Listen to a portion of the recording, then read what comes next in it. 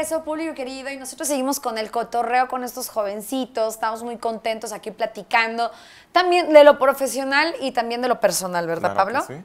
Y bueno, también, ya que se nos está terminando el programa, pues queremos platicar un poco de lo que va a ser el partido contra el señor Ricardo Rayas de Zacatecas. Bueno, un partido complicado, lo decíamos, Diego, porque, bueno, es un equipo que se ha, se ha adaptado a lo que quiere Ricardo Rayas. Y bueno, aquí también Martín, que es el único de los jugadores que estamos, bueno, que están presentes, pudo entrenar con él algunas temporadas. Coméntanos, ¿qué es lo que puedes decir de Ricardo Rayas? No, que es un profe que le gusta mucho el orden, que le exige al 100% a los jugadores y pues que tácticamente trabaja mucho. Oye, Martín, ¿crees que vaya a tener alguna influencia en el que el entrenador Ricardo Rayas conoce las habilidades y también las debilidades del equipo? ¿Crees que tenga algo que ver en este partido que van a tener? No, yo creo que nosotros venimos haciendo las cosas bien, venimos trabajando y como él, como dices, él nos conoce, pues nosotros también conocemos cómo Su trabaja él y ¿no? pues, tuvimos mucho tiempo con él. Sí, claro. Bueno, ya también hay muchos jóvenes que acaban de llegar, o bueno, como por ejemplo Emilio, que tiene seis meses, bueno, ya no le tocó eh, entrenar con Ricardo Rayas, pero sí va a ser un partido muy importante, Emilio, porque, bueno, Zacatecas también va a ser de los que va a estar, me parece, peleando por los primeros puestos, sobre todo puesto de liguilla. Sí, yo creo que va a ser un partido complicado, más que de visitante. Y más que Zacatecas viene desplegando buen fútbol. También le pasó lo mismo ahora con América en la Copa. Sí. Entonces, yo creo que ese partido, más por lo que dices que de rayas y el profe Mario, que casi tiene la misma base y es el mismo, casi el mismo sistema de, de juego. De juego. A pesar de eso, yo creo que Zacatecas para mí es de los rivales más complicados que hay en, el- en esta división. Perfecto. Bueno, rápidamente quiero mandar un saludo al señor Ede Reyes. Salúdeme a los cuatro jugadores de Alebrijes y que rifen una playera. Es una. Y díganle al jugador Castellanos que es un excelente ser humano y un gran jugador. Muchas gracias. Gracias para el amigo Eder Reyes. Gracias. ¿Quién es? Eh, Eder Reyes. Ahí está. Eder Reyes, un saludo. Mándale un saludo especial. ¿cómo no? Hola.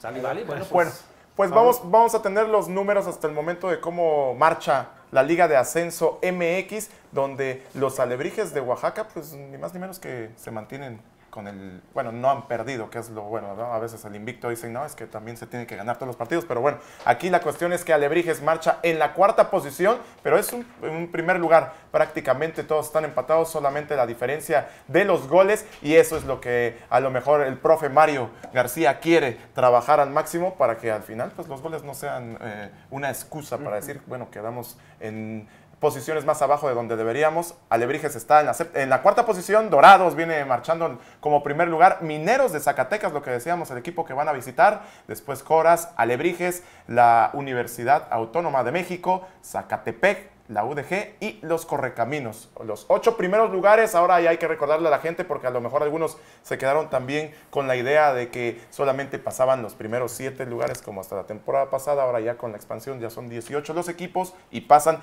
ocho, ya no hay primer lugar directo a semifinales, así es que ya todos van a jugar cuartos de final. bueno, rápidamente un saludo que quieran enviar a alguien en especial, por favor. Antes de ya irnos. Con Yo- confianza, Con ¿eh? toda A quien con- Sí, Y no te engañamos, ¿eh? Ay, no te engañamos. Vamos, venga. Familia, novia, Vámonos. amigos. A ver. No, también estoy soltero. ¿En serio? Ahí está, chicas. No creen ¿eh? en el amor. No, No no, eres bueno. Ah, no te creas. Ya, ya Llegas no. a Oaxaca, Ya no. pruebas chapulines y seguramente vas a conseguir un novio, ya verás. Yo te recomiendo. Yo acabo de comer. a ver, Venga. salud. Ah, quiero saludar a mi mamá, yo creo que está viendo ahorita el programa. Le mando un saludo, que la quiero mucho. Un saludo, señora. No crea que lo estemos aquí este, eh, sonsacando. Descarreando, ¿no? ya, Descarreando, claro que no. No, ya me conoce. Ya, muy Venga, bien. Iván. A ver, un saludo. Yo, bueno, a toda mi familia allá en México y pues un saludo a toda la afición de Alebrijes que ojalá me estén viendo. Claro, Claro que que sí, seguramente, claro que sí. Martín. ¿A dónde los mandas? Yo a mi esposa y a la afición. Claro que sí, a la pues afición. Tienes toda la razón, muy bien. Yo, yo, no, Ah, sí, es cierto. Ah. Y yo de comedilla.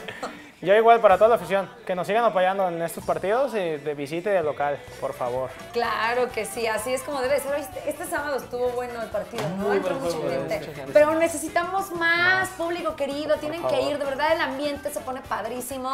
La seguridad está increíble, así es que no lo duden, apoyar el fútbol oaxaqueño y qué más que Alebrijes de Oaxaca. ¿Algo que más? Claro que sí, no, nada más invitar a todos y que sigan también, obviamente, por las redes sociales de Alebrijes de Oaxaca, porque ahí van a estar también manteniéndonos al tanto del partido del viernes contra Zacatecas. Así es que mucha suerte, chicos. Suerte, Y bueno, aquí los esperamos Y- también, ¿eh?